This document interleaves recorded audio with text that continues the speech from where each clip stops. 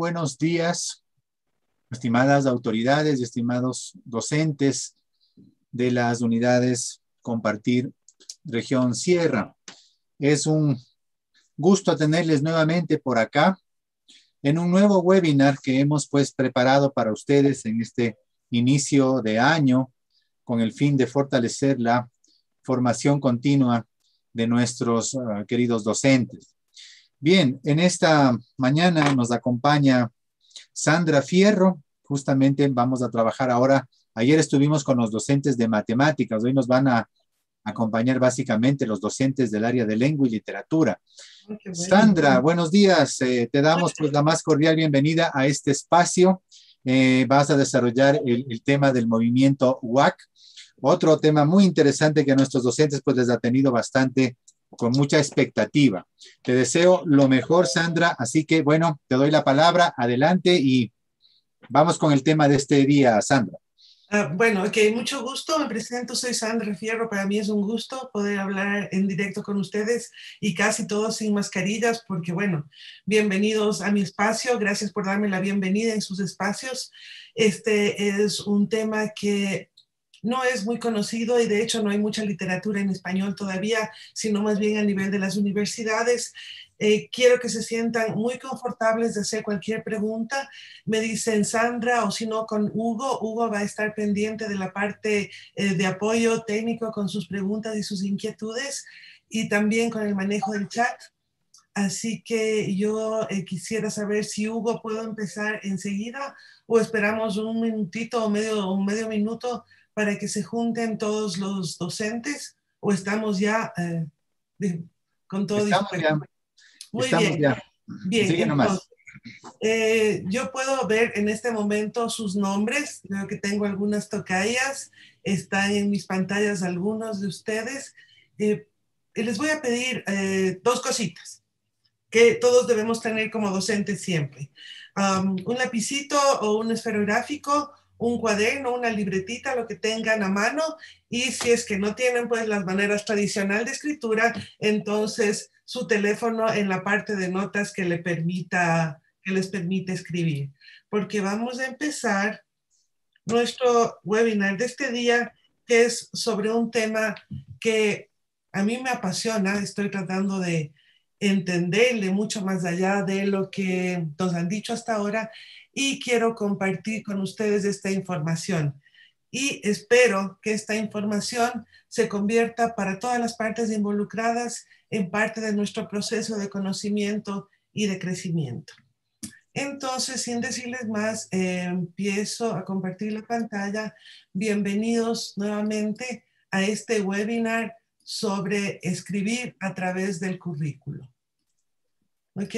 Este es un movimiento que originalmente está en inglés, por eso le he puesto eh, eh, su nombre original aquí al lado, Writing Across the Curriculum. En inglés ustedes saben, usan, usan mucho los acrónimos, entonces se refieren a WAC. Para nosotros usar un acrónimo tendríamos que decir ETRA de algo así. Entonces nos hemos quedado con WAC por la facilidad que eso representa para nosotros, eh, para poder hablar rápidamente. Bienvenidos a ¿Qué es escribir a través del currículo? Esta presentación es una presentación bastante estructurada eh, porque no podemos trabajar con uh, cada uno de ustedes o en talleres como hubiera sido mi agrado, sino que más bien es una especie de lecture, un seminario cortito en donde he traído estos temas principales que nos deben interesar para no, no aplicar algo que no sabemos, algo que nos imaginamos o algo de lo que estamos inseguros. Por eso yo les traigo un poquitito de la historia de WAC, la teoría o las teorías que están atrás de WAC, la implementación, algunas formas bastante simples en que podemos implementar WAC en nuestras aulas, cuáles han sido las críticas o las consideraciones principales que tenemos y bueno, mi lista de referencias. Ok. Bien, cuando uno eh, se pone a pensar de por qué escribir a través del currículo, bueno, tenemos que darnos cuenta que somos comunicadores. Más que todo, los seres humanos, las personas, estamos comunicando todo el tiempo. Nos comunicamos a través de diversas metodologías, ¿no es cierto? De diversos códigos. Tenemos códigos que son los idiomas y tenemos metodologías o estrategias que son el lenguaje oral, eh, las formas de lenguaje, el sociolecto, el cronolecto, todas estas variedades que nos hacen hablar de una determinada forma y no de, otra. Si ustedes me dicen, bueno, el lenguaje que hablan los médicos, por ejemplo, es un lenguaje bastante técnico. Si yo entro a una reunión de abogados, seguramente los abogados estarán hablando de sus códigos legales. Si yo me voy, por ejemplo, a una oficina de planificación de arquitectura, puedo entender que los arquitectos están hablando en sus propios términos. Es decir, todos vamos creando un lenguaje determinado por el cual comunicamos. Y por eso es importante que desarrollemos esta nueva perspectiva. ¿Por qué escribir a través del currículo? Primero, porque se hace en todas las materias, no solo se hace en lengua y literatura. Escribimos en todas las materias del currículo desde que aprendemos a escribir. Y esa es otra consideración importante. ¿Por qué hemos segmentado a un área el aprender a escribir? ¿Sí? A veces creemos que solo las profesoras de lengua se dedican a enseñar a escribir. En el caso de nuestros chiquitos de la educación primaria, sabemos que hay una profesora que integra las cuatro áreas básicas y que ahí esa profesora, ese profesor, se dan modos para que el niño escriba la materia de entorno, que era de, ciencias sociales, en la materia de lengua y que escribe en la materia de ciencias naturales y en la materia de mm, ah, ah, matemáticas. ¿Cómo lo hacemos? Bueno, los profesores hacemos magia. Este es simplemente una manera de que esa magia pueda llevarse a cabo de una manera un poquito más consciente. Nosotros lo hacemos, pero justamente cuando lo conocemos, tenemos que darnos cuenta cómo lo conocemos y cómo lo utilizamos. También aquí va un poco de nuestra misma metacognición como docentes. Entonces, de lo que se trata en WAC, escribir a través del currículo, es de agarrar esas destrezas de la escritura, ¿no es cierto? Que tenemos desarrolladas en el currículo, que sabemos que son algunas que tienen que ver con la mecánica, tienen que ver con la expresión, y prenderlas, hacer como que se las traspasamos a otras materias, a las otras disciplinas. ¿Cómo se hace esto? Ya vamos a ver algunas estrategias muy fáciles. ¿Cuál es la razón básica de que hagamos esto? Hay eh, una razón muy importante y es preparar a nuestros estudiantes para sus retos próximos y futuros.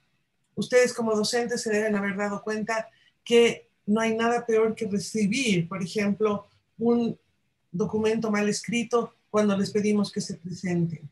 O tenemos las experiencias de cuando se aplica a universidad, que nos piden que escribamos un ensayo y dicen, oh, ¿y cómo se escribe el ensayo? Nuestros chicos tienen que estar preparados para cumplir estas destrezas, que son básicamente las destrezas del siglo XXI.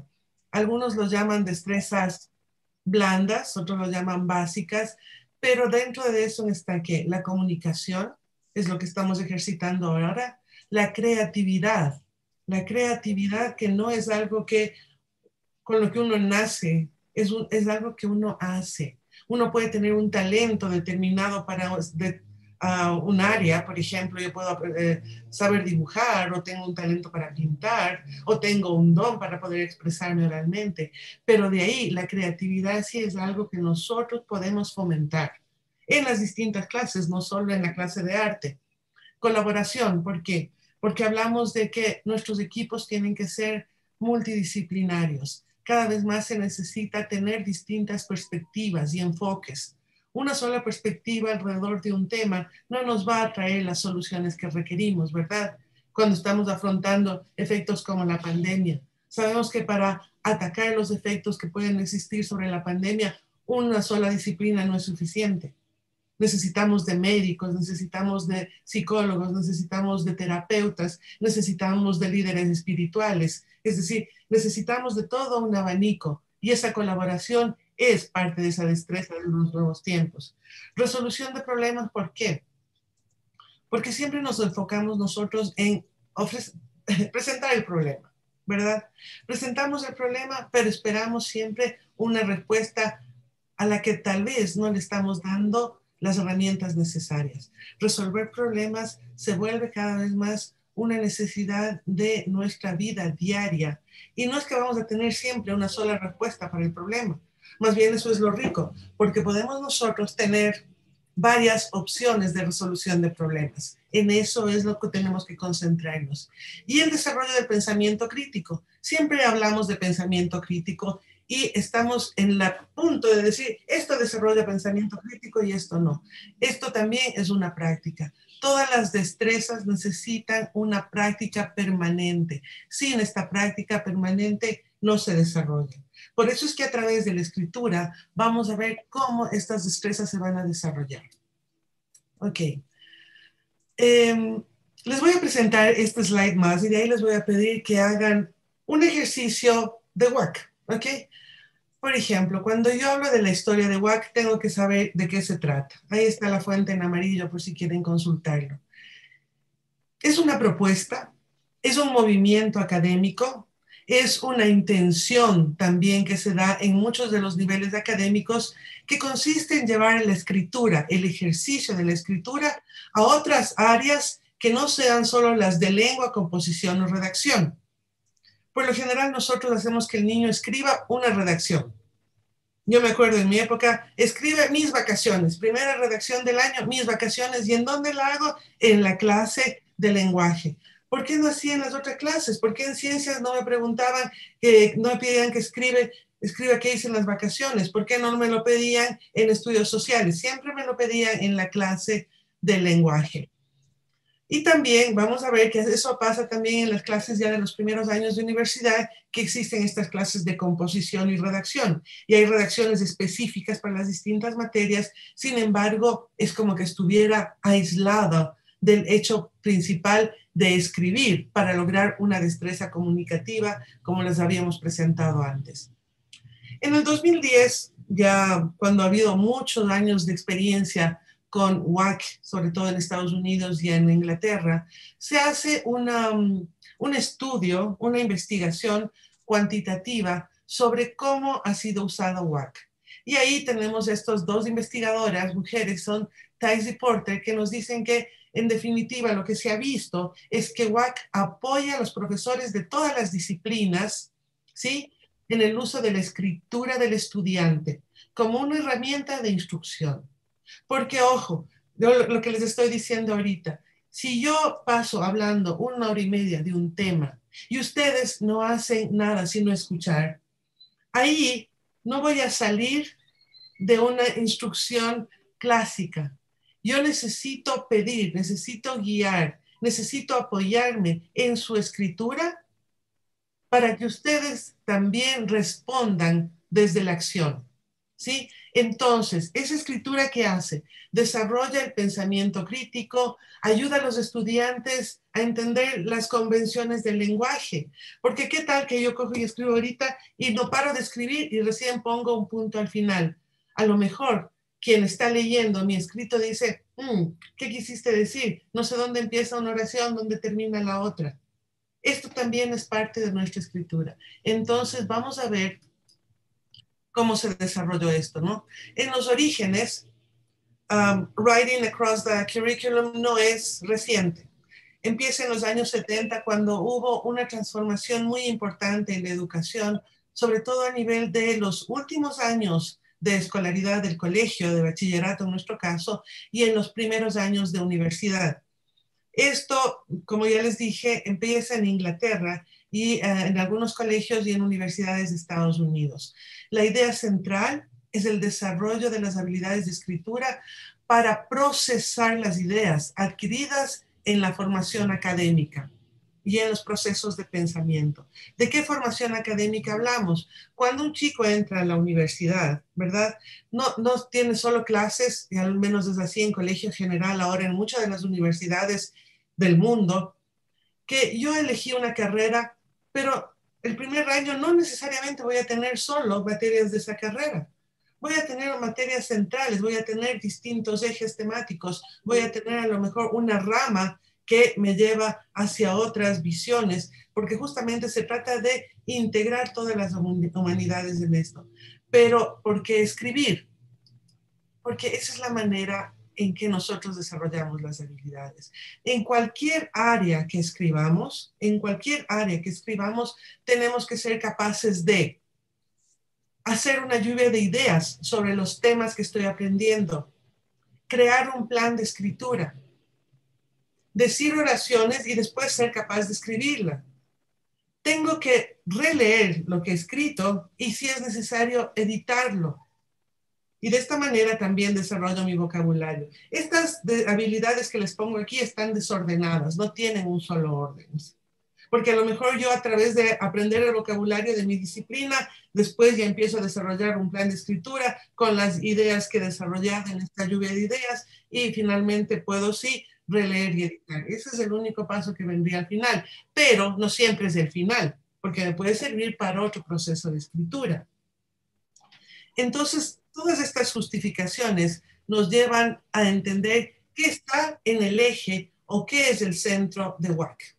¿Ok? construir significado. Quiero que se fijen en esto. Construir significado. Es decir, ¿qué relación hay entre el lenguaje que yo uso de una determinada disciplina y mi comprensión de ese lenguaje? ¿Verdad? Porque yo a lo mejor me especializo en enfermería o me especializo en em, leyes. Pero ¿cómo sé que estoy especializándome si no es a través del uso del lenguaje? ¿Y cómo puede medir ese conocimiento mediante el lenguaje escrito? Todavía no se nos da una forma a los profesores de evaluar el lenguaje oral 100% oral, ¿verdad? Todas las formas nuevas de concreción del conocimiento sabemos que tienen un lenguaje escrito por detrás. Entonces, ¿qué ha pasado? Que muchos de los docentes ya a nivel superior dicen, uy, pero ya estamos hablando de octavo, noveno, décimo, bachillerato, y estos chicos no han aprendido a escribir. Estos chicos no saben las convenciones básicas. Pedimos ensayos de historia o pedimos um, en los colegios de bachillerato internacional, por ejemplo, el, el DQB, que es el uh, Document Based Essay, y nos dicen, ¿y ahora? No hay un orden, no hay una lógica, no hay una estructura. ¿Por qué? Porque el lenguaje se usa de la misma manera estructurada en todas las áreas académicas. ¿Ya? Pero para perderle el miedo a este uso académico es que se han desarrollado las estrategias que vamos a ver a continuación. Ok, entonces, resumiendo un poquito esta parte introductoria, WAC es un esfuerzo. WAC es una estrategia que nos induce a probar múltiples formas de escribir que van más allá de la evaluación. Porque a veces lo que hacemos también en las clases de lengua, y me ha pasado a mí por experiencia propia, es que proponemos una, um, un producto escrito para la evaluación final, ¿verdad?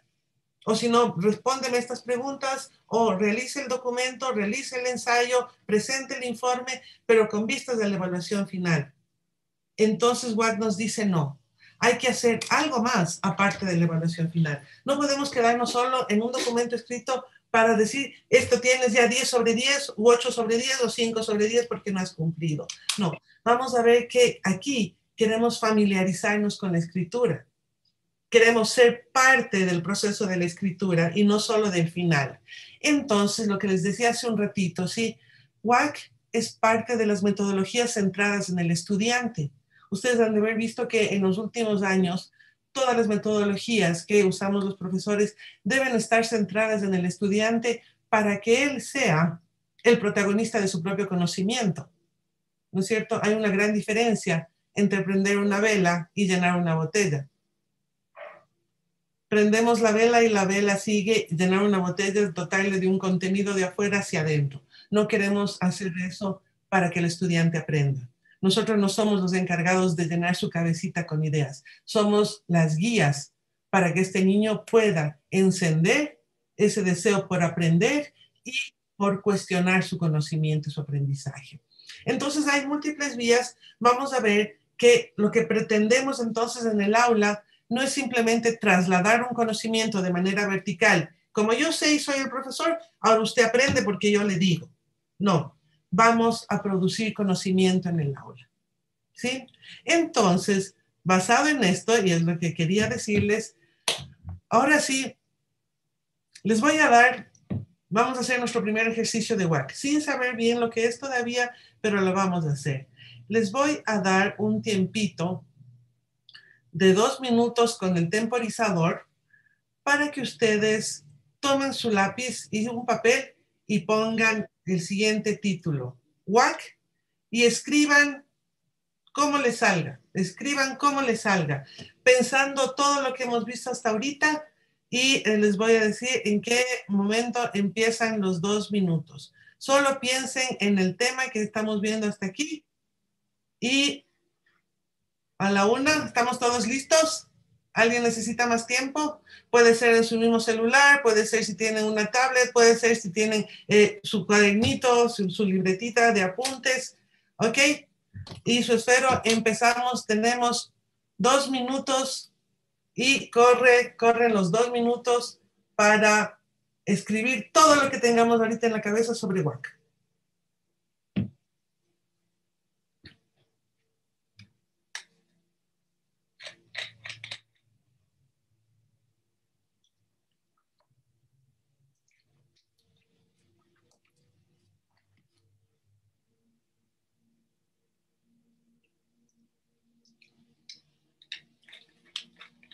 Son dos minutos. Ven que en dos minutos hay que poner muchísimas ideas. Vamos a ver cuántas ideas somos capaces de poner en estos dos minutos.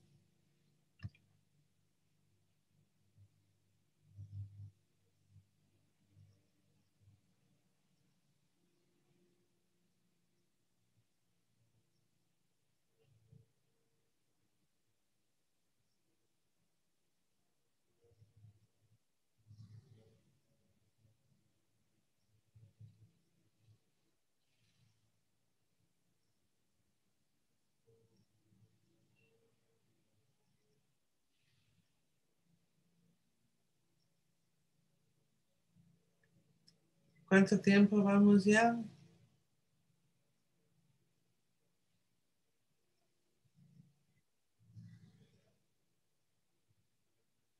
Ya mismo les digo cuándo parar.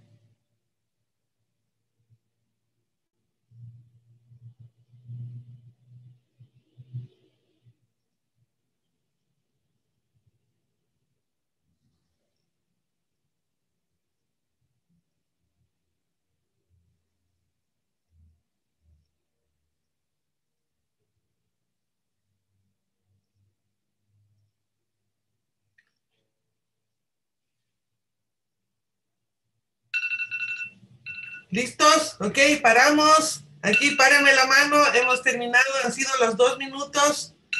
Ok. Muchas gracias. Ahora sí, fíjense en lo que tienen frente a ustedes. ¿Qué tan largo pudieron escribir en este momento? ¿Hasta dónde eh, pudieron llegar? ¿Qué ideas pudieron desarrollar? ¿Alguien desarrolló más de tres, cuatro ideas en estos dos minutos? Sobre lo que es WAC. ¿Me puedes ayudar, Hugo, por favor, si es que hay algún voluntario que quiera leer una oracióncita de lo que escribió? Teacher Alicia, por favor. Hello, hello. Muy buenos días a todos. Buenos días. Bueno, eh, Sandra, lo que entendí y me llamó mucho la atención, eh, WAC, metodología para iniciar la creatividad y talentos. Muy bien, alguien más, ahí tenemos. Es una metodología eh, en donde podemos desarrollar creatividad y talento. ¿Quién más tiene otra idea? Pueden alzar la mano, ¿no? Pueden alzar la mano y doy la. Ahí va, en, en Mita, en Mita, te doy, la, te doy paso en Mita.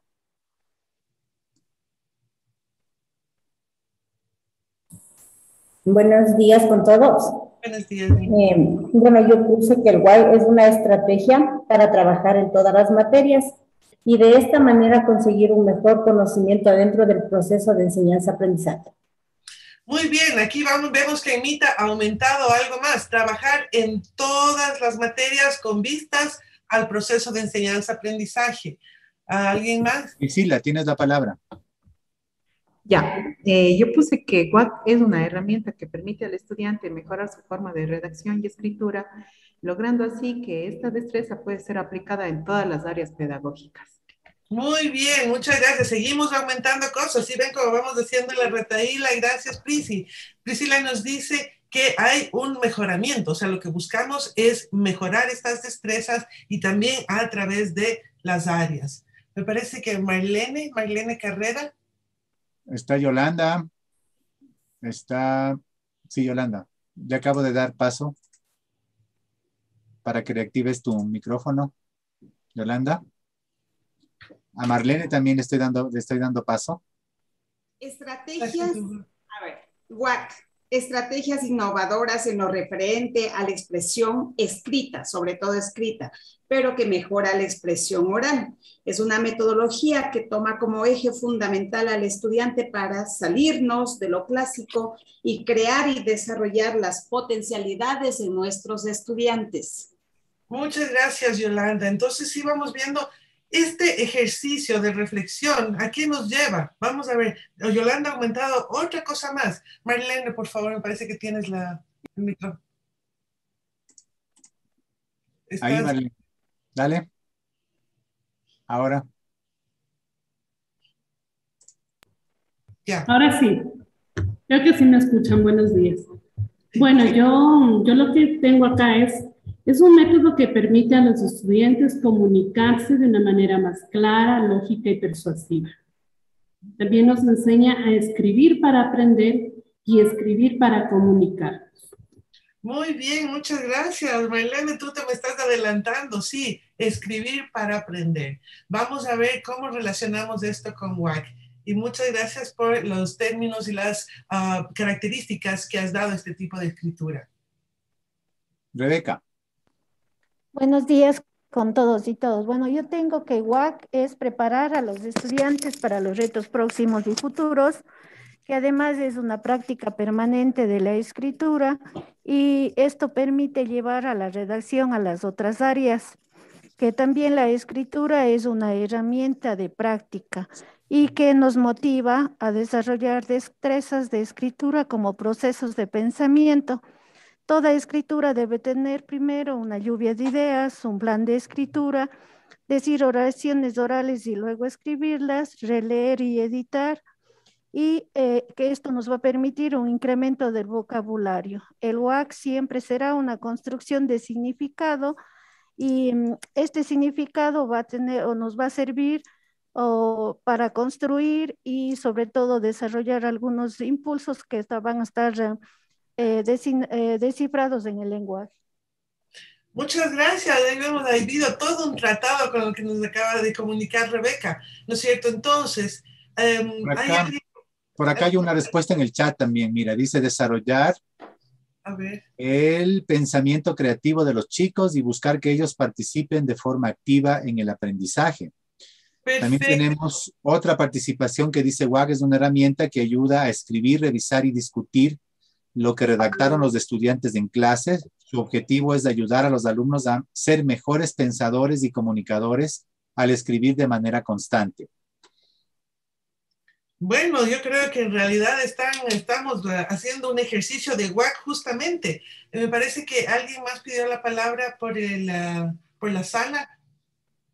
Mónica, Mónica Bonifaz está levantando la mano, eh, creo que ya te va a dar paso.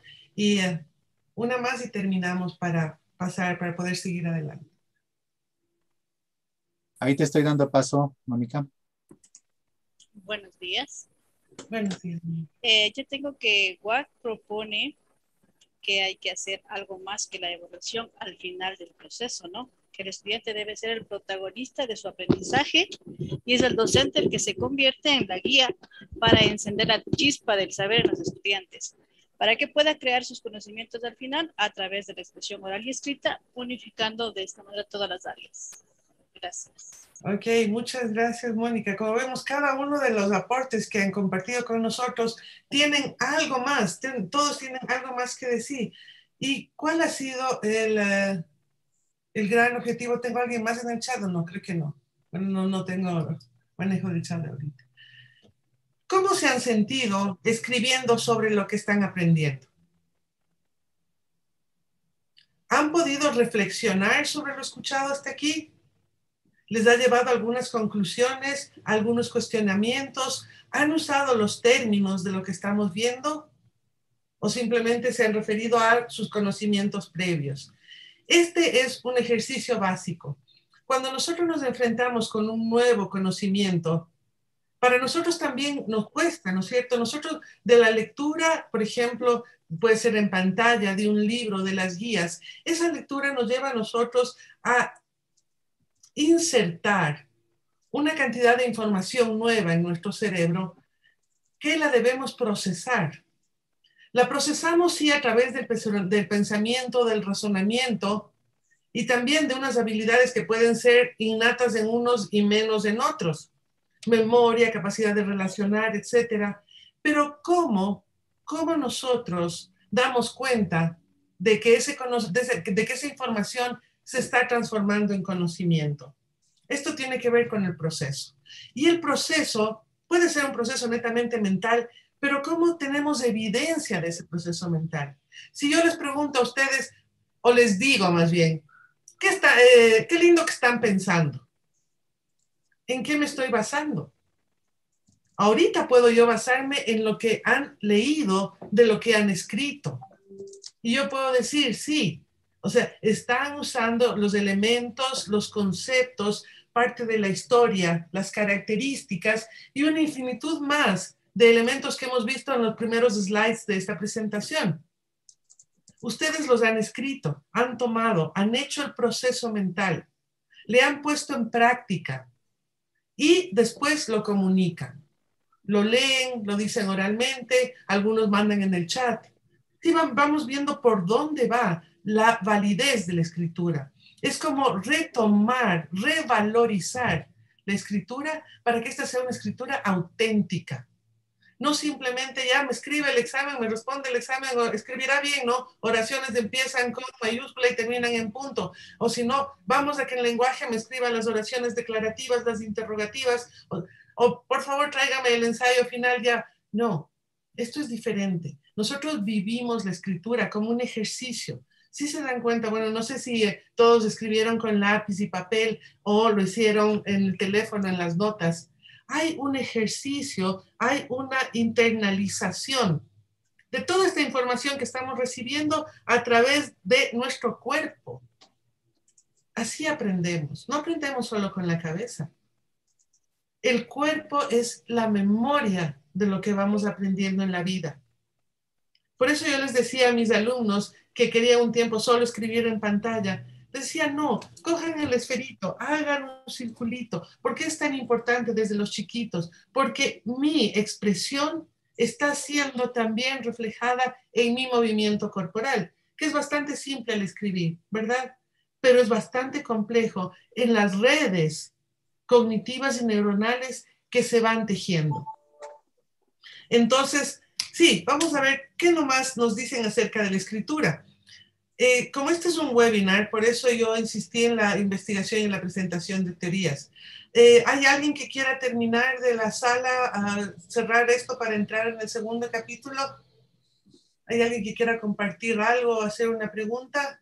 Ah, ¿Me puedes informar, Ruga? O si no, seguimos adelante ya con, con la segunda. Por ahora no, por ahora no. Sigue nomás, Sandrita. Ok, muchas gracias. Entonces, estamos en mi pantalla, ¿verdad? Vamos a ver las teorías. Hay sobre todo tres teorías básicas que yo les llamo aproximaciones para el uso de la escritura a través de las áreas. Escribir para aprender, writing to learn, escribir en las disciplinas y escribir a través del currículo. Yo sé que empezamos por esto porque este es el tema de nuestra capacitación. Pero este gran tema de nuestra webinar ahorita tiene que ver con estas dos, escribir para aprender y escribir en las disciplinas. Writing to learn, que también se usa el acrónimo WTL, y Writing in the Disciplines, que usan el WIT. Ahora nosotros estamos en el WAC. Pero vamos a ver qué tienen de diferente y cómo se complementan estas aproximaciones. Me decía Rebeca, parece que, no, Dianita, se me fue el nombre, Mayrita, que escribimos para aprender.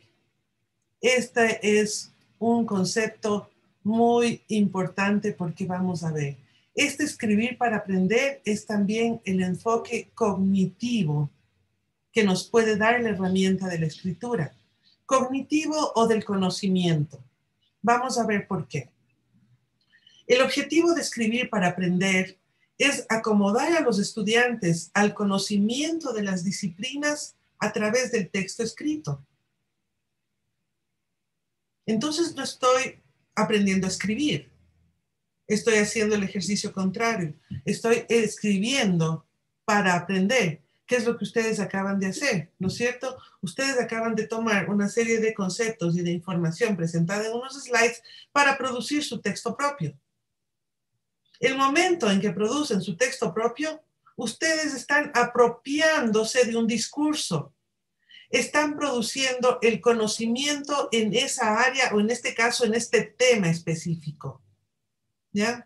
Yo puedo decir, supongamos que este webinar fuera una disciplina académica, lo que ustedes han hecho es tomar esa primera información para procesarle como parte de su nuevo conocimiento. Y han hecho un ejercicio de escribir para aprender.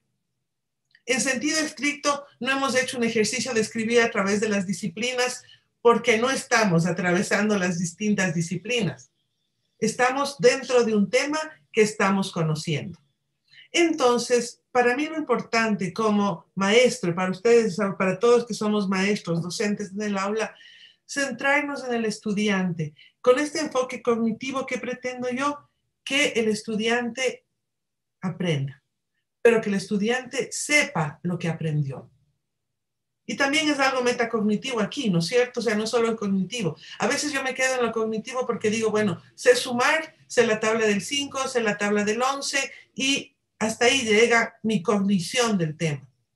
Pero cómo lo uso, qué decido hacer con la información, todo esto va a ser parte ya de la metacognición y ahí es justamente cuando el alumno se da cuenta y conoce lo que conoce. Entonces, cuando aprendemos a escribir, aprendemos una mecánica, aprendemos a usar un alfabeto, tenemos mejor o peor letra, tenemos mejor o peor, eh, ¿cómo se llama? Eh, se me fue el nombre, la motricidad fina, ¿verdad? Pero ¿qué tenemos siempre? Tenemos siempre una apropiación del conocimiento. Aquí es donde sale, y esto es parte de la, de la filosofía educativa, el sujeto que conoce, el sujeto cognoscente. Entonces, la práctica de escribir nos sirve para dar voz a ese sujeto y descansa más que nada este enfoque cognitivo en la construcción individual del conocimiento que se concreta en actividades para construir conocimiento, ¿verdad? Ahora, como sabemos que cada alumno escribe individualmente, al comienzo estamos hablando de un tipo, de una estrategia, pero no es que uno solo en la vida lo hace. Esto es un proceso social y por eso yo les puse este en esta cosita antes, uy, perdón. Nosotros aprendemos a conocer, aprendemos a escribir como sujeto individual. Ustedes todo lo que han hecho lo han hecho desde su sujeto, desde su cuerpo también. Han escrito, han producido un escritito chiquito de dos minutos, lo que les dio el tiempo unos pusieron más ideas, otras menos ideas. Esta es la individualidad. Pero esto que hemos hecho es un ejercicio social, porque la educación no puede estar separada de, de nuestro proceso cultural. Acordémonos que ante todo somos seres sociales y que lo que hacemos en esta parte de la educación, lo que hacemos los docentes, es construir, ¿no es cierto?, procesos de socialización desde la educación formal.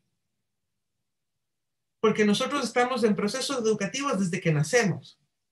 Pero ahora que lo llevamos al ámbito formal, de la educación formal, de la educación escolarizada, de la educación con un currículo, es donde nos damos cuenta que ese proceso social se hace vivo en cada uno de nuestros estudiantes.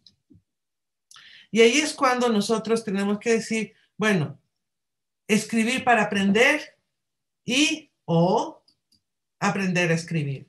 ¿Cuáles son las grandes diferencias? En escribir para aprender tenemos, como ya nos dijo nuestra amiga, dar a los, estudiantes oportunidades para recordar, aclarar, cuestionar lo que conocen o lo que quieren conocer sobre un tema. Porque, por ejemplo, del ejercicio que hicimos, yo les pedí a ustedes que escribieran, pero también pude haberles pedido que hagan preguntas. O pude haberles pedido que hagan una historia, el comienzo de una historia sobre WAC. Pude haberles pedido que escriban un mensaje de WhatsApp a su mamá contándoles qué es el WAC, ¿verdad? Pude haberles dicho, escriban una receta para llevar adelante el WAC. Aquí ya depende de cuál es la intención de los profesores en ese momento. Y aquí, como estamos en un taller con profesores de lengua y áreas afines, lo que hicimos fue escribir en dos minutos sin parar todo lo que estábamos teniendo al frente. Entonces, ¿qué tipo de actividad hicimos? Yo no les di una rúbrica, ¿verdad? No les dije, eh, tiene que ser de tal extensión. No les dije, este es el número de palabras. No les dije, cuiden la redacción y la ortografía. Les dije, escriban. Entonces, esta es una característica bien importante de escribir para aprender. Actividades cortas, informales, que permiten a los estudiantes pensar esos conceptos. O díganme, ¿alguno de ustedes que escribió no pensó lo que estaba escribiendo? ¿Alguno de ustedes mientras escribía estaba pensando en qué hacer de almuerzo? ¿O alguno de ustedes estaba pensando, no me tomé la pastilla? Bueno, como estudiantes sí nos pasa eso. Yo me acuerdo que una vez yo tenía clase de cocina, porque en mi época me daban clase de cocina, y la, la profesora de cocina se enojó mucho con nosotros y nos dijo, bueno, escriban cómo se hace el arroz. Y, claro, alguna gente no sabía cómo hacer el arroz, pero yo sabía que había que tostar el arroz antes de echarle el agua hirviendo, entonces empecé a poner eso, pero como estaba desatenta y había un avión que pasaba por encima del colegio en ese momento, puse, se tuesta el avión. Cuando la profesora leyó que se tostaba el avión, pensó que, bueno, o sea, se está burlando de mí o algo así, pero eso es lo que les digo, o sea, el momento en que nosotros tenemos una consigna cortita, una consigna hacia la informalidad, hacia que el ambiente es amigable, podemos lograr mejores resultados en la relación del estudiante con la escritura. ¿Y por qué no también con la lectura? Cuando yo empecé a desarrollar este webinar, algo que me di cuenta es que lectura y escritura no se pueden separar, ¿verdad? están absolutamente juntos y más en las áreas de em, estudios sociales y, y, lengua y literatura, que son las dos afines. Yo diría que, que, en arte también, aunque en arte a veces hay procesos más, más prácticos, ¿no? pero siempre el, momento en que nosotros pedimos al alumno que escriba, a veces le, ponemos muchas exigencias, bueno, no siempre, a veces. A veces le ponemos, escribirás bien, pondrás la puntuación, o esto, esto, el otro, y sobre todo en las actividades de lengua y literatura, el, el alumno se siente como, uy, estoy presionado por esto, por esto, por el otro. No, para escribir y aprender, hagámosle que se siente en un ambiente familiar con la escritura. Y aprender a escribir, bueno, es el proceso que hicimos todos. Y a veces cuando les digo, vamos a aprender a escribir un ensayo, yo lo que califico finalmente va a ser el ensayo, o sea, al final del proceso. Ok. Ahora vamos al otro lado, ¿no es cierto? Hemos visto ya escribir para aprender. Ahora veamos escribir en las disciplinas. Esto de escribir en las disciplinas es un enfoque retórico o el enfoque del discurso. ¿A qué me refiero cuando hablo de esto? Lo que vimos hace un momentito, ¿no es cierto? En esta noción de la escritura, que es menos individual social, que es diferente a lo que vimos sobre el enfoque cognitivo, en este enfoque retórico o de la expresión, ¿qué perseguimos? Perseguimos que se privilegie la voz del estudiante con los temas personales, con los temas contextuales, perdón, que está aprendiendo. Y aquí yo por eso me voy a escribir en las disciplinas. Entonces aquí la expresión que ha hecho el estudiante refleja que conoce lo que está aprendiendo, lo que está indagando, lo que está cuestionando sobre la disciplina. Por eso se llama escribir en las disciplinas, porque estamos por un lado desarrollando la destreza de escritura, ¿verdad? con este mecanismo que busca que el chico cuestione, que salga desde adentro, que exprese su conocimiento, pero de un determinado tema, de una determinada disciplina. Por eso se llama escribir en las disciplinas. Y escribir en las disciplinas, ojo, no es lo mismo que escribir a través del currículo. Estamos viendo cuáles son los antecedentes de esto. Cuando hablan los filósofos, sobre todo los filósofos de la educación, sobre escribir en las disciplinas, se refieren a una relación que existe entre el texto y la epistemología. ¿Qué es la epistemología? Los profes de filosofía aquí me pueden ayudar. Episteme es la ciencia. La epistemología es la filosofía de la ciencia o el discurso sobre la ciencia o la narración de la ciencia. Y hay muchas teorías epistemológicas, ¿verdad?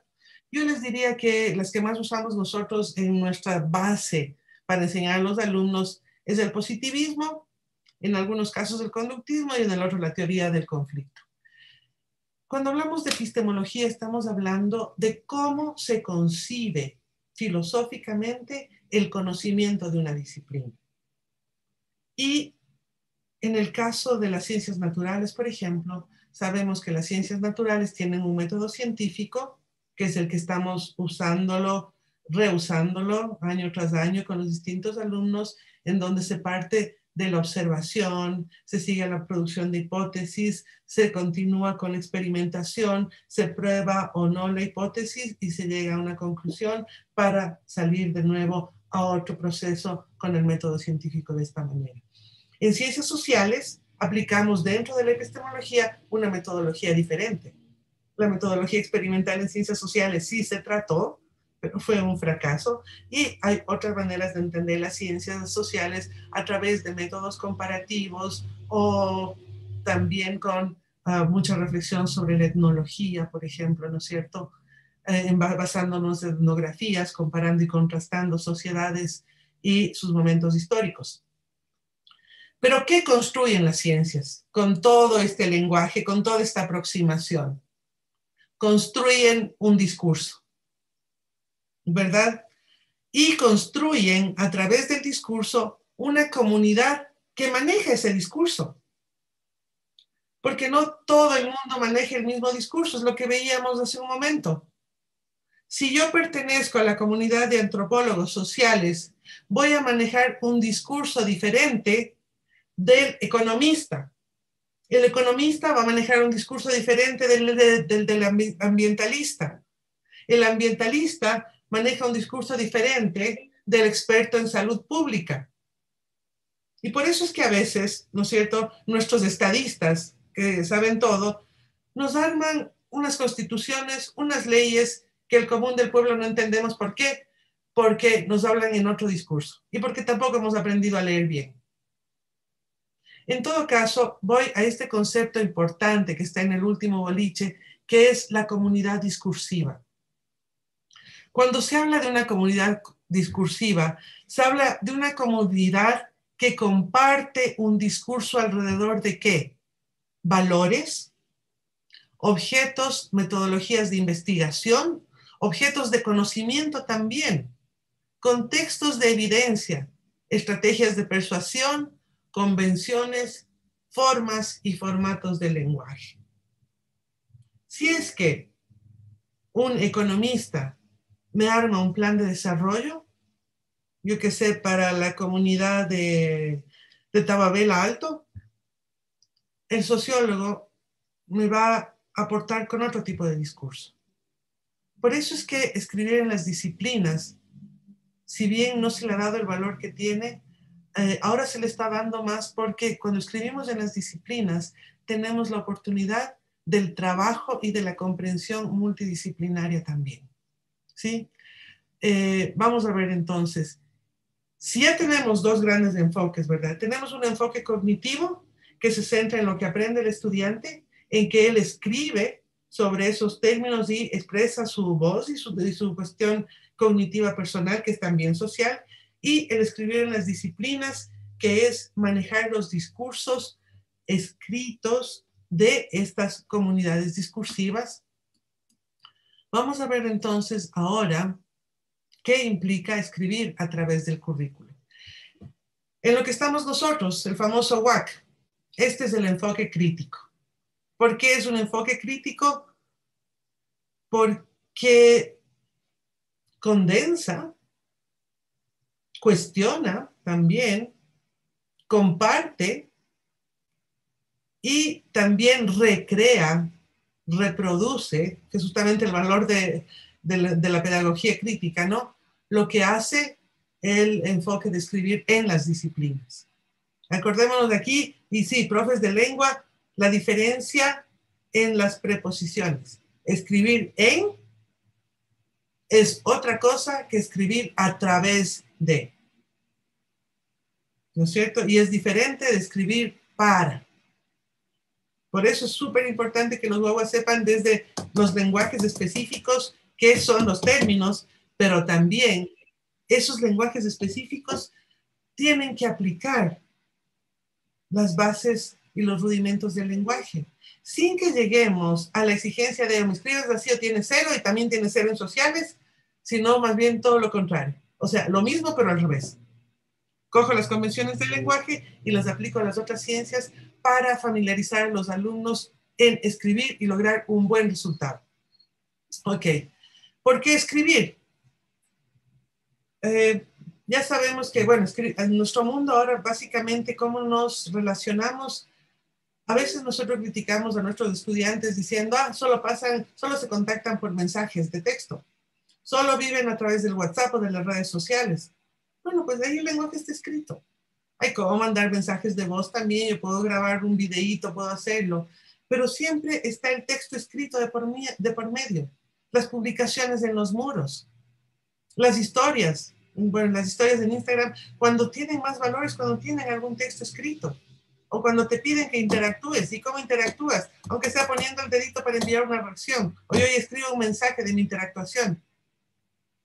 En el centro de todo lo que aprendemos está la comunicación. Y evidentemente, en este sentido, como profesores nos damos cuenta que está la escritura. Porque qué tal que yo solo voy, doy la clase, que puede ser el caso de muchos webinars, y no pido nada más. Quedará en el olvido si es que no ha habido alguna manera, alguna manera de fijar este conocimiento a lo que vamos aprendiendo. Entonces, ahora nosotros tenemos, ¿no es cierto? Decimos, sí, pero el estudiante no solo demuestra lo que aprendió por escrito, que me haga un video, que haga una dramatización, que grabe un podcast. Pero ¿qué es lo más raro de todo esto? Todo eso necesita un guion. ¿Sí? Y ustedes ven que el video, incluso los, los chicos mismos se dan cuenta que están haciendo un video y dicen, pero no, o sea, tengo la idea de lo que voy a grabar, pero me falta esto, me falta esto, me falta esto. Ahí estamos nosotros para decirle, bueno, esa secuencia de lo que vas a grabar se llama guion y tú puedes escribir el guion. Y en el guion puedes ver si hay coherencia en lo que estás proponiendo para filmar o para grabarte en tu podcast, si es que están todos los elementos que necesitas para presentar y que se entienda. Y ahí mismo le puedes ir mejorando. Y claro, y además con la tarea del docente. O sea, acuérdense que nosotros los profesores estamos también ahora, más que antes, para dar un vistazo a lo que se está haciendo para proveer nuestro enfoque y nuestra retroalimentación para que sea posible la edición. Ahora, es mucho más fácil editar un guion que editar un video ya listo, ¿verdad? O es mucho más fácil cambiar mi argumentación para un podcast que tener que grabar de nuevo el podcast o ver dónde paré y dónde le vuelvo a, tomar. Cuando yo hago una presentación que puede ser Pautum, Prezi, eh, o usando Genial y lo que sea, yo tengo que hablar, pero con base en lo que tengo escrito. ¿Por qué? Cuando hago una entrevista, voy a entrevistarle a un personaje súper famoso que está de visita en la ciudad o, hago la, entrevista por Zoom y me quedo, ah, ¿y cómo se llama usted? ¿Y a qué se dedica? Ya me, ya me dice. ¿Y, ¿Y qué más me puede decir? No, o sea, estoy demostrando que realmente no estoy preparada, incluso para el formato de entrevista. Ustedes habrán visto a los mejores periodistas que tienen un escrito. Nos basamos en esto. En las ciencias sociales también. Yo no puedo ir a hacer una entrevista a un líder comunitario solo diciendo, ya veré que le pregunto en el camino. Sí hacíamos mucho de eso cuando éramos estudiantes, pero justamente de eso se trata, de crear una disciplina para que nos demos cuenta de esto. Y como ya repetí y repito otra vez, escribimos en todas las áreas. Incluso matemáticas, escribimos números, pero también escribimos razonamientos. Y a veces sí se nos piden procesos, ¿verdad? Entonces, ¿qué implica la escritura? No solo la mecánica, no solo la mecánica y de esa expresión. Ahora, ¿qué entendemos por mecánica? Mucho de lo que nosotros enseñamos en la clase de lengua y literatura tiene que ver con la, con la eh, mecánica del, idioma o cuando estamos en las clases de inglés también. Signos de puntuación. ¿Cuándo usas la coma? No, no, la coma no se usa al final de la oración, se usa cuando enumeras elementos o cuando estás dando una explicación eh, sobre eh, un sustantivo, un sujeto, por ejemplo. ¿Cuándo uso el punto y coma? ¿Por qué uso los dos puntos? ¿Por qué cuando en el saludo de la carta pongo dos puntos después del saludo? ¿Cuál es mi idea? En fin. Esas mecánicas del lenguaje se requiere practicar en todas las áreas, no con la misma estrictez, ojo.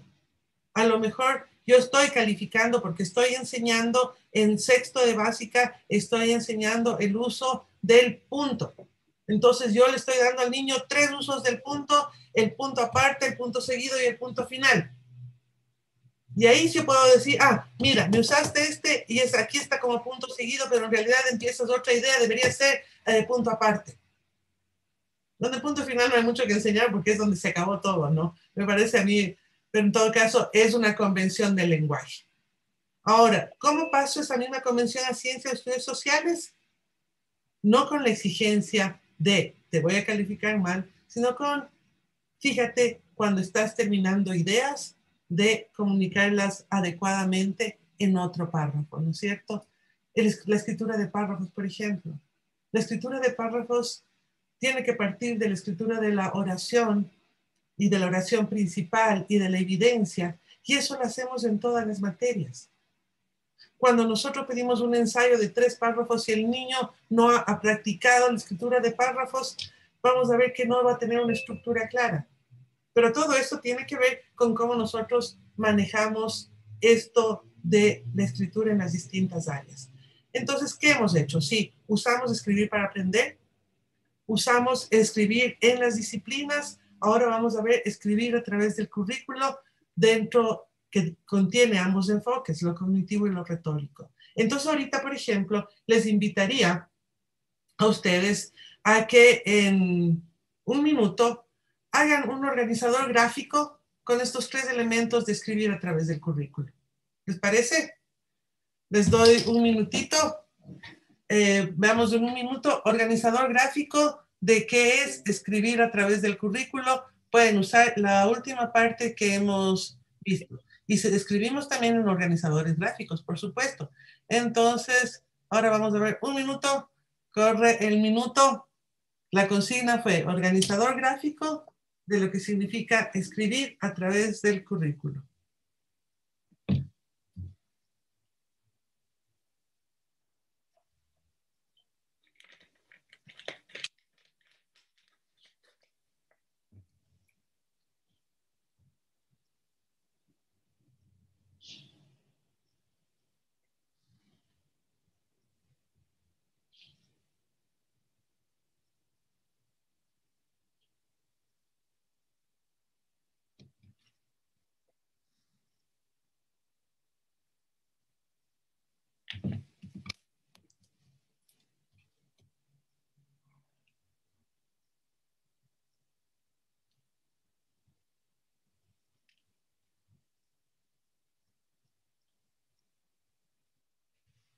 ¿Ok?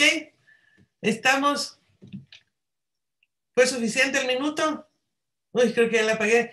¿Fue suficiente el minuto? ¿Quién me dice no fue una manito abajo si fue suficiente el minuto? Una manito arriba. ¿Mm? Hugo, ¿me ayudas a ver si es que hay reacciones en la sala? ¿Alcanzaron en un minuto? Como es gráfico, lo pueden también presentar a través de la cámara, ¿no es cierto? Claro, pueden ponerlo así frente a la cámara. Yo hice esto.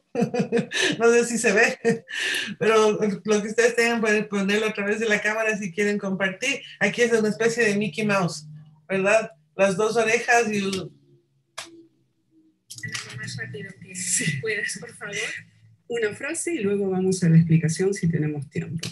La frase dice así, a diferencia de lo que sucede Algo se activó en tu... Sí, se activó, espera un momento, se activó un video que, tengo, ya. Ya. un video que está atrás de la, de la presentación. Ok. Listo, profes, entonces pueden presentarlo a través de la cámara. Si alguien quiere acercar su organizador gráfico a la cámara, me parece que Mónica está por ahí, no le aquí más puedes de, de, pronto dejar de compartir la pantalla para... Ahí está, mira, ahí te están mostrando uno. Mónica te está mostrando justamente. A ver, espérame que justo me fui a esa pantalla. ¡Ay, Mónica! ¡Oh! Mire, en un minuto lo que ha hecho Mónica hasta con... ¡Qué bien, Mónica! Todo un diseño y con regla. Entonces tenemos... Eh, Puedes ponerle otro ratito para ver si le puedo ver cuál es el título. Mire, ahí tenía escribir a través del currículo y abajo tendría tres ideas principales. Enfoque crítico, que es uh, enfoque cognitivo y el enfoque um, retórico. Uh -huh. Ok, muchas gracias. Gracias, Mónica. Puede haber sido esta una actividad informal. Mónica lo hizo de manera muy formal. A mí me encanta. Tiene un pulso maravilloso, Mónica. Gracias por compartir. Eh, oh, así como yo les dije, sí, yo todavía ni siquiera había escrito. O sea, supongo que el uno es el enfoque crítico, el otro es el enfoque retórico y el de abajo es el enfoque, eh, perdón, el de abajo es el crítico, entonces tendríamos retórico, um, cognitivo y crítico, ¿verdad? Ok, ¿qué hemos hecho ahora? ¿No es cierto? Esta actividad también de escritura, aunque sea un organizador gráfico, es una actividad que promueve en el estudiante eh, la facilidad de resumir, resumir ideas principales. Entonces sabemos que hay en esta temita que hemos visto aquí de teorías, tres teorías principales y a lo mejor dos de esas que se revisan y se critican para sacar una tercera. ¿Verdad? Ok, si no hay nadie más que quiera compartir uh, o que quiera decir algo, levantar la mano, podemos continuar. ¿Sí?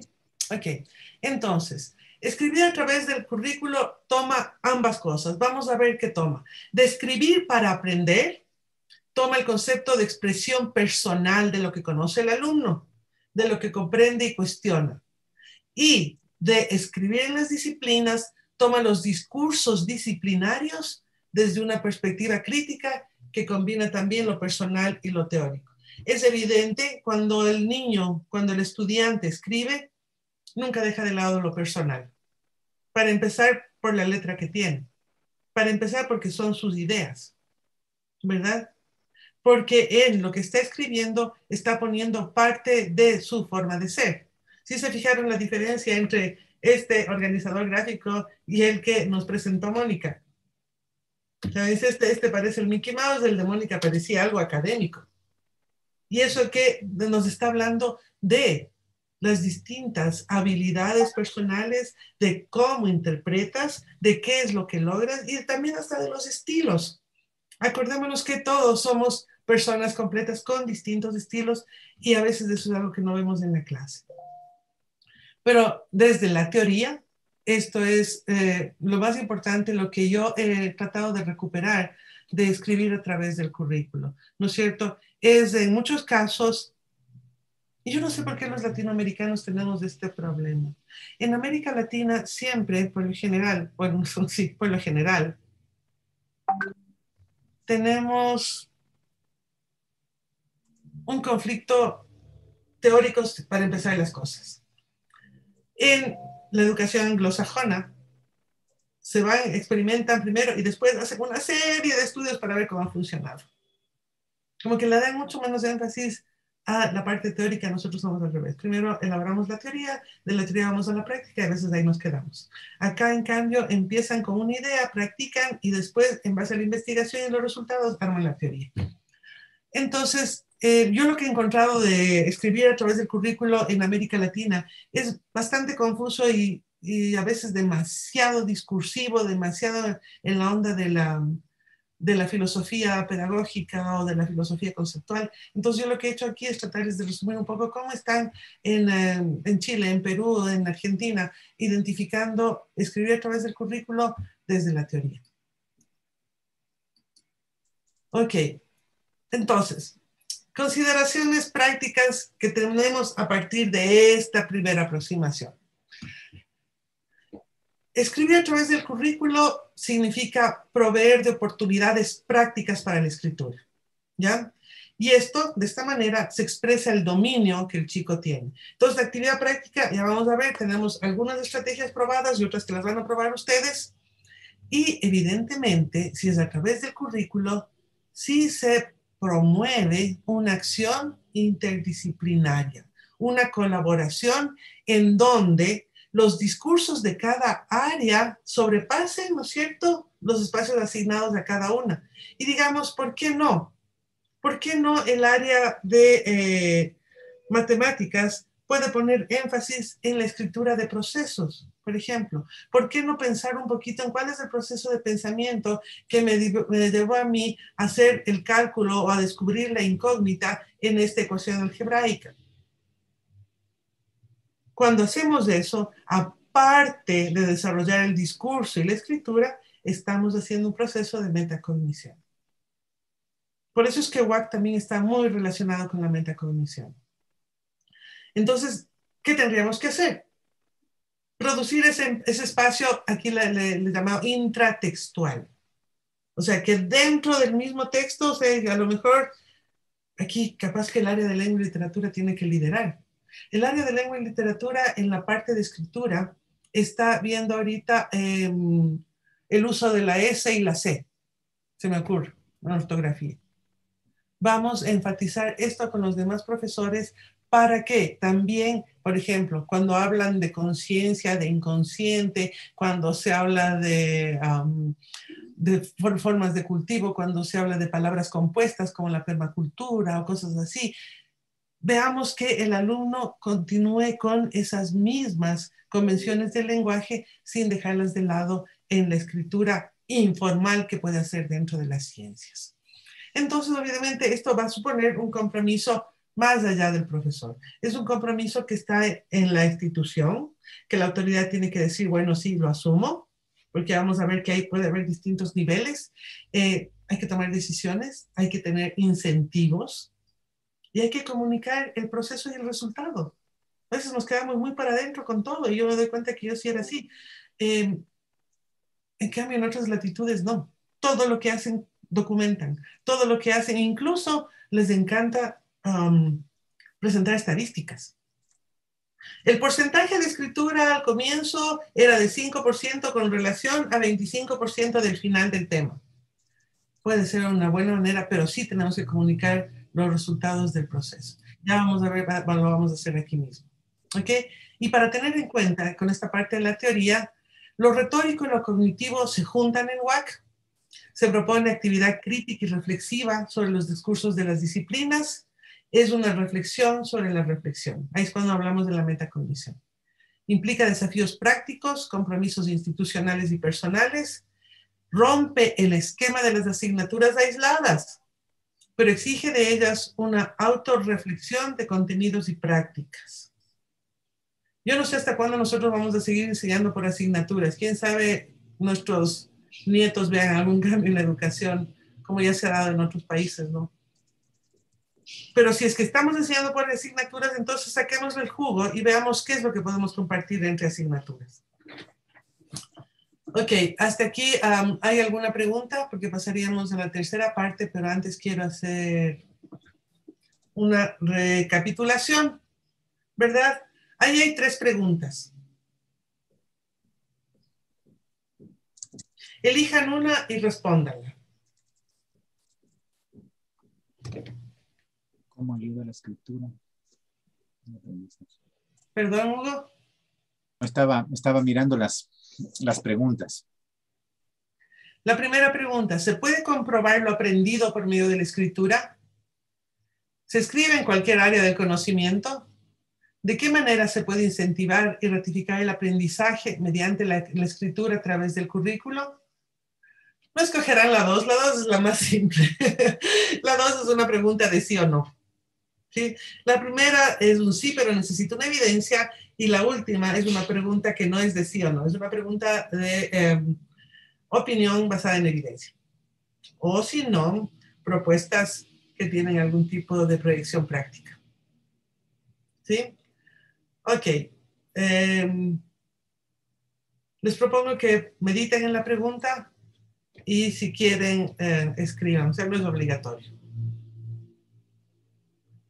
Pueden escribir su respuesta, pueden grabar su respuesta, si es que tienen... Pero antes vamos a hacer algo. Pueden, o sea, piensen en la pregunta y siéntense sin nada, o sea, si es que están cerca de una mesa, alejen un poco su silla, por favor.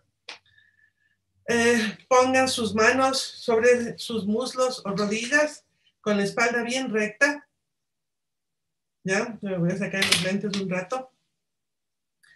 Y vamos a estirar la espalda, crecer la cabeza hacia arriba, solo la cabeza dejando los hombros abajo. Vamos a entrelazar nuestras manos, a ponerla acá detrás de la cabeza, a la altura de la nuca, y dejar caer con el peso de los brazos nuestra cabeza sin cambiar la postura de la espalda. Sentir un poquito cómo se estiran las cervicales y respirar pausadamente.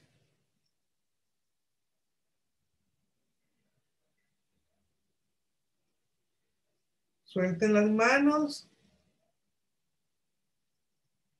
Ok, ahora con una mano pónganla en la oreja y lleven el peso de la cabeza sin arquear la espalda, la espalda recta, para el lado en que jala su brazo.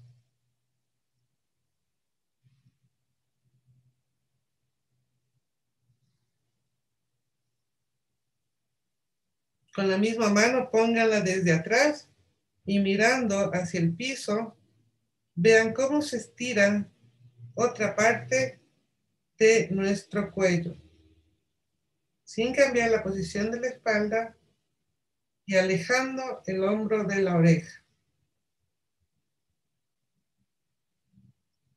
Enderezamos y hacemos lo mismo hacia el otro lado.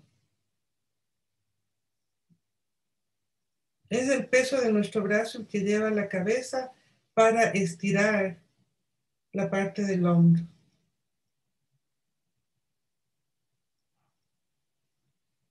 Ahora ponemos desde atrás la mano para ver hacia el suelo.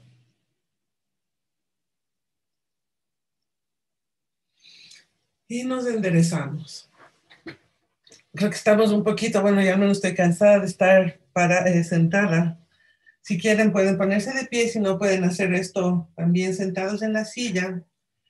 Vamos a estirar los brazos hacia adelante, ¿sí? A entrelazarnos, damos la vuelta a las manos, ¿ya?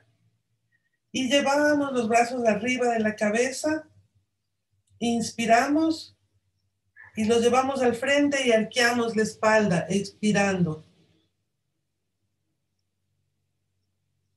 Si quieren, den la vuelta a los brazos, para las manos, para que se vea, vean su, palma de las manos. ¿Ya? Y estirada al frente. Inspiramos y los llevamos sobre la cabeza. Ahí un ratito. Y ahora sí, otra vez hacia adelante, expirando y arqueando un poquito la espalda. Se le hacemos como un ovillito aquí que nos abrazamos. Una vez más, aquí estiramos bien la espalda, crecemos hacia arriba podemos hacer sentado parado. Y expirando, nos quedamos acá. ¿Ok? Y con eso tratamos un poquito de cambiar nuestra actividad cerebral y estar un poquito más presentes. Pueden sacudir brazos, sacudir manos, sacudir la espalda si quieren, darse una vuelta alrededor de la silla. Por lo general, ¿qué nos pasa en clases largas? Yo sé que todos somos adultos, estamos acostumbrados, hemos ido a la universidad, sabemos cómo son los profesores de universidad y estamos, podemos estar acostumbrados a un trabajo de, de estar sentados por hora y media, pero ¿qué pasa con nuestros chicos? Nuestros chicos a veces no, no lo hacen. Entonces es bueno traer esto para estar presentes un ratito. Ok. Voy entonces a decirles por qué usar escribir para aprender. Para desarrollar el pensamiento, para practicar de manera informal, para crear vínculos entre pensamiento y lenguaje, entre lenguaje y aprendizaje, para usar tecnología, las tecnologías se adaptan muy bien a esto, y también para tener alternativas para evaluar. Si bien hemos dicho que no es la evaluación final, estas son actividades que no van a ser corregidas, sino que van a, proveernos oportunidades de evaluación informal, ¿verdad? ¿Qué estamos aprendiendo? ¿Qué no estamos aprendiendo? ¿Qué estamos entendiendo? ¿Qué no estamos entendiendo? ¿Ok? Y ahora me voy a pasar.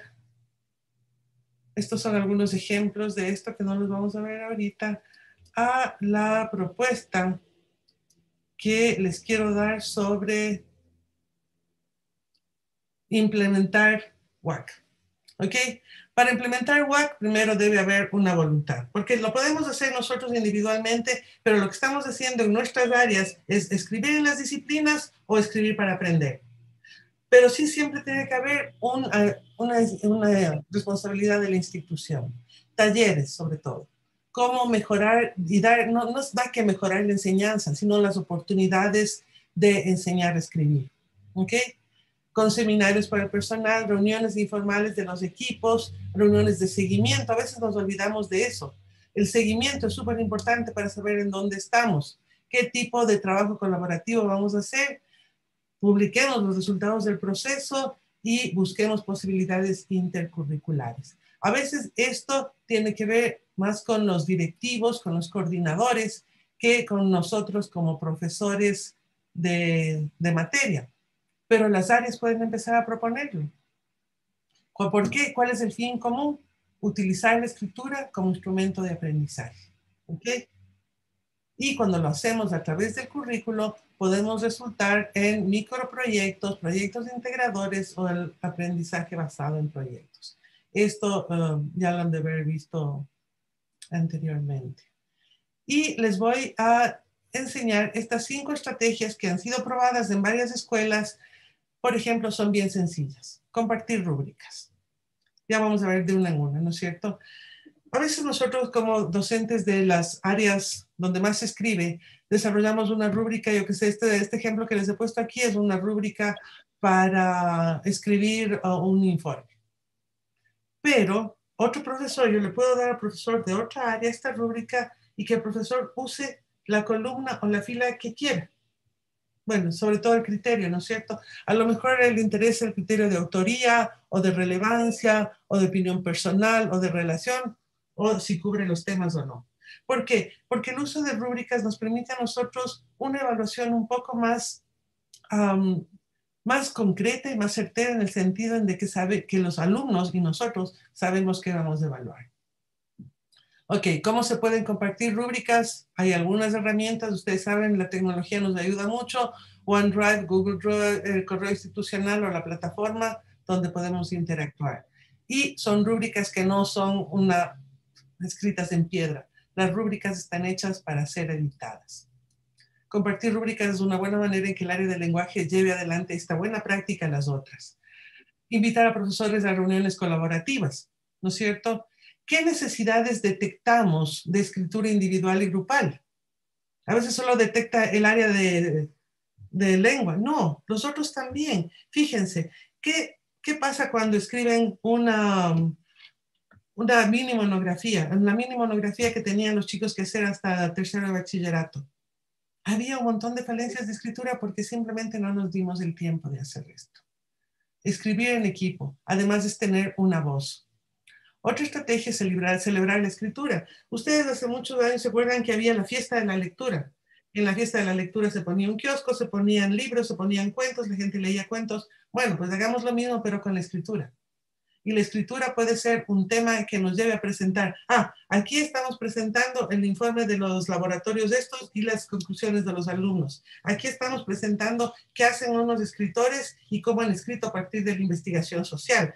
En fin, Y se puede hacer, bueno, de esto se puede hacer una, una fiesta realmente de la escritura un día o dos días de una semana asignada para eso.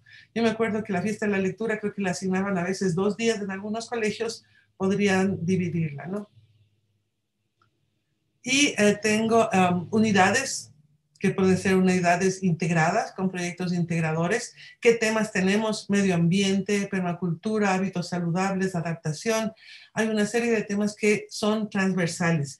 Además, el, ministerio actualmente está hablando mucho a través de los ejes transversales y está proponiendo siete ejes transversales de los cuales se pueden sacar las unidades integradas.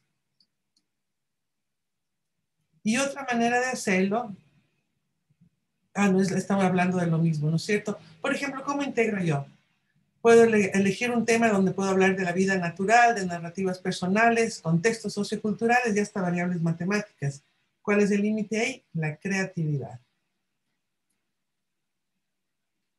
Esto de los directivos lo vamos a dejar un ratito al lado porque les voy a poner aquí una lista de dos estrategias sencillas. ¿Ya?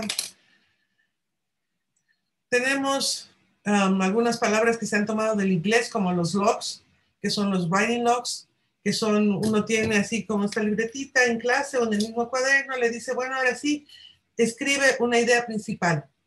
Admit y exit slips, que son qué? Son unas tiritas con las cuales yo le digo, a ver, hago una pregunta de lo que hemos visto en clase o un comentario o una observación. Entonces el alumno escribe, ta, ta, ta, ta, ta, y me presenta en la puerta de salida y me entrega con su nombre. Si es que no me presenta, no se va de clase. Entonces sí le estoy obligando a escribir lo que aprendió. La correspondencia, que puede ser correspondencia real o virtual a través de cartas que podemos hacer de una área a otra. Por ejemplo, mi, yo en lenguaje le escribe a mi yo de sociales, ¿ya? Diarios de diálogo. Eso es bien chévere porque se acuerdan que cuando uno era guambra no se mandaba mensajes de texto, sino que se escribía unos papelitos, doblaba el papelito y le mandaba el de atrás. O si no, le botaba el papelito y decía, a ver, ¿qué estás pasando papelitos ahí? Eso mismo, pero dirigido en clase. Yo escribo una idea, le mando a mi compañero, él me escribe la respuesta, me manda a mí y así nos mandamos papelitos en clase. Diarios de ficción. Aquí me invento. Me invento que estoy en la clase de física hablando con Madame Curie cuando me habla de la radiación. ¿Ya? Entonces, o si no, predicciones. ¿Qué crees que va a pasar? Las predicciones son adivinanzas que uno hace en tu mente, pero escribamos. A ver, ¿qué crees que va a pasar? ¿Qué crees que va a pasar si la clase se acaba en cinco minutos y no hemos podido terminar los ejercicios? Ah, seguramente me va a mandar de deber. O no, vamos a aterrizar mañana. Eso es importante. ¿Por qué? Porque nos damos cinco minutos en un momentito de la clase para que el alumno vaya sobre eso. O si no, cuando yo presento un tema ¿Cuál es su primera idea de este tema? ¿Qué creen que es? Yo les hago escribir las primeras ideas y al final vemos esas primeras ideas con lo que ya hemos conocido. La escritura libre, que sería más o menos lo que hicimos para esos dos minutos, se puede asignar más tiempo, o si no, en determinado momento de la lección, para y escribe. Para y escribe. Le pongo un signo de pare, ya, escribe ahorita. Tan, tan, tan, tres cosas, 30 segundos diarios de respuesta del lector. A veces leemos, pero el alumno puede estar pensando en mucho, en cualquier otra cosa. A ver, para y dime, como lector, ¿qué anotarías? ¿Qué le dirías al autor? ¿Qué pregunta le harías a este autor de lo que estás leyendo? ¿Qué le corregirías al autor? Etcétera. En pocas palabras, los gringos los llaman in a nutshell, ¿qué traería de todo lo que hemos visto aquí en una cáscara de nuez? Y resúmenes, que es una técnica que siempre la usamos y asumimos que el alumno sabe resumir. Bueno, ahora lee la página 20 a la 30 y me trae un resumen para mañana. ¿Cómo sabemos que el alumno sabe resumir? Y ahorita me estoy quedando sin tiempo. Yo creo que es hasta las doce y media, ¿verdad, Hugo? Sí, estándar, sí. Ya. Solo les voy a robar un minutito más. Aquí, bueno, tengo lo que les he dicho en resumen escrito. Son dos estrategias que están detalladas aquí eh, y con preguntas y guías para que ustedes las puedan hacer, que como todo esto queda grabado. ¿Y eh, cuál sería la... Um, necesitaría que ah, entremos para cerrar esta clase. ¿Qué piensa para cada uno de ustedes qué significa WAC? Tienen que entrar a www.menti.com. Hagan eso, por favor, en sus teléfonos o computadoras. Primero hacen, escriben www.menti.com y luego les va a salir una pantalla que les pide un código. El código está ahí, 4333 9547.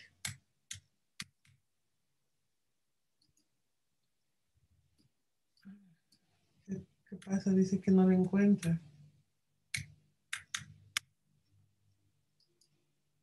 No, ya lo escribí bien. Sí lo encuentra. Entonces, la pregunta está ahí. ¿Qué significa WAC?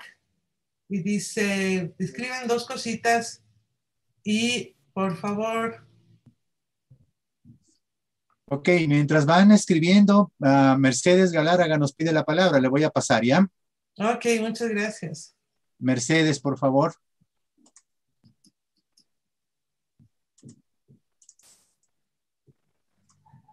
¿Dónde está Mercedes?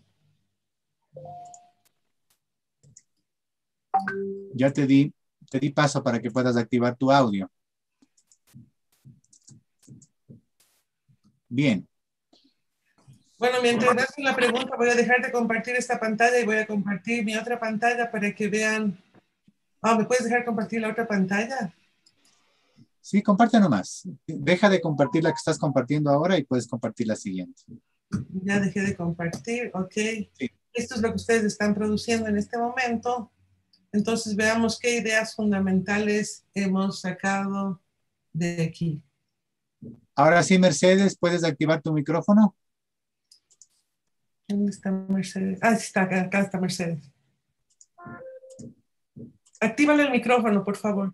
Ya, ya, ya le activé. Yo de, de acá ya le activé. Ahí está, ya activo, Mercedes, por favor.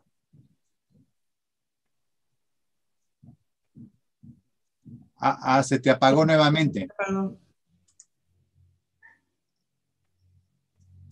Con la barra espaciadora, mientras detienes aplastada la barra espaciadora, Mercedes. Nada. No, hay algún... Ponle, el, mouse encima del microfonito y... No. No. Ahí está, ahí está, ahí, está, ahí está. Ahí está. Dándole No, ya le hice. ya la apagaste. La apagaste de nuevo. Sí, ven cómo está produciendo una lluvia de ideas alrededor de WAC.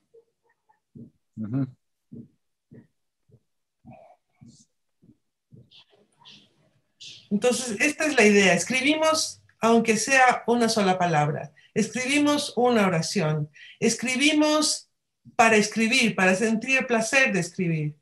Además, no sé si alguien ha estado en terapia alguna vez. Escribir también es bueno para sanar. ¿No es cierto? Hay muchos terapeutas que te dicen, bueno, escribe un diario. Vaya y escriba qué le pasó ahora, qué le pasó con los ejercicios que le mandé a hacer, todo eso. Ustedes están poniendo al centro de nuestro mente la creatividad y las variedades estratégicas, pero en, las, variedades, sí, las variedades estrategias. sin embargo, nos hemos quedado con mucho en el tintero todavía y sobre todo la intención es que ustedes vuelvan sobre esas dos estrategias que son las más fáciles de llevar a cabo. O sea, ¿qué queremos? Queremos enganchar a los alumnos en la escritura no siempre tenemos que corregir todo lo que escriben. Seamos un poquito más flexibles en ese sentido. Démosle chance a nuestros alumnos que se expresen primero. Sí, y bueno, el área de lengua sí le interesa que escribamos bien, pero también puede otorgar estas herramientas a los otros profesores para que sean copartícipes de esta buena escritura. A veces, bueno, es que social studies nomás es, entonces no voy a escribir bien, no voy a poner puntos, no voy a poner tildes. En todas, matemáticas tiene tilde, biología tiene tilde, química tiene tilde, pero no por eso vamos a dejar de escribir. ¿Sí? Ok. Muchísimas gracias, Sandra. ¿De qué? Gracias, a ustedes, gracias a ustedes por su tiempo, su paciencia. Ya saben, estoy a las órdenes. sí, que quisiera que le tomen una fotito a la... ah, voy a pasarles, hace un momento pasé también la, el link de evaluación. Voy a volver nuevamente a escribirles, por favor, en las salas para que puedan proceder con la asistencia y evaluación del evento. Estoy nuevamente publicando este momento.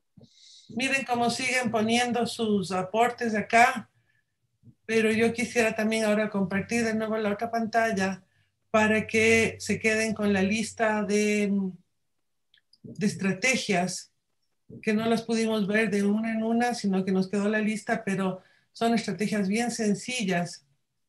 Gracias por tu, su participación en el Menti. Hay cosas ahí muy chéveres que nos quedan, yo ya me lo guardo. Y comparto mi otra pantalla para que vean, por favor, las dos estrategias, si les interesa tomar nota de ellas, de los nombres, para que puedan implementarlas. Esto lo implementan en cualquier clase, acuérdense, en cualquier clase y ahí estamos haciendo, por ejemplo, ¿qué tal si a la coordinadora de ciencias dice, oye, esta semana hagamos correspondencia entre nuestras clases? Ya, entonces, por ejemplo, en el caso de que tengan paralelos, un paralelo está en ciencias, otro paralelo está en sociales, escríbanse cartitas, aunque sea de un parrafito o de dos líneas. Y eso de los, de los papelitos en clase eh, resulta bien chévere, claro que ustedes tienen que dar la guía y estructurar la actividad, porque si no se empiezan a pasar papeles entre todos y no entienden el sentido ah, didáctico que esto tiene. Yo insisto en que la didáctica puede ser muy divertida y el aprender también puede ser muy divertido y entretenido. Así que veámosle por ahí qué es lo que podemos hacer. ¿sí? Hay cosas más formales, hay cosas menos formales, pero la escritura está ahí. La escritura se puede hacer en todos estos temas. Y nos interesa que escriban para demostrar lo que aprenden, que escriban para demostrar sus habilidades comunicativas, que escriban para ser mejores estudiantes, que escriban para poder dirigirse y usar los distintos discursos de las áreas. Muchísimas gracias, Sandra. Ok, entonces yo... Agradecemos por este tiempo que nos has dado el día de hoy, esta mañana que te hemos pues ido hasta, hasta tu espacio, nos hemos, eh, como se llama, permitido entrar en él y nos has permitido compartir también tu experiencia y esta, este concepto, WAC, yo tampoco lo, lo, conocía, te cuento, me voy también contento de haberte escuchado y un poco cuestionado, te digo, porque en los temas que a mí me han pasado de manera personal, te digo, por ejemplo, al hacer videos, me he dado cuenta realmente de esta, he llegado a caer en esta necesidad de escribir, ¿no? Me he dado cuenta, me he dado cuenta a la larga lo importante que es primero, como tú decías, de hacer el guion, escribir, y a veces pues no, nos cuesta, ¿no? Nos cuesta, nos queremos ir como adelantando los pasos y claro, tenemos... Nuestros huevos también dicen, ah, no, ya tengo la idea del video. Y claro, qué bonito, pero póngalo por escrito. Eh, hay un dicho en inglés que dice, if you think it, ink it. O sea, si lo piensas, ponlo en tinta. Las ideas no son nada. Las ideas no son nada. Podemos tener maravillosas ideas, pero no son nada si no les ponemos en la práctica y una manera de escribirlas. Vuelvo a agradecerles otra vez, entonces ya me puedo ir nomás. Muchas gracias, Sandra, y muchas gracias, profes, autoridades. Tienen el link en, la, en, la, en los chats para que puedan evaluar. Y bueno, nos vemos el día de mañana. Continuamos con los webinars programados para educación continua. Hasta pronto, profes. Muchas gracias. Hasta luego. Un placer.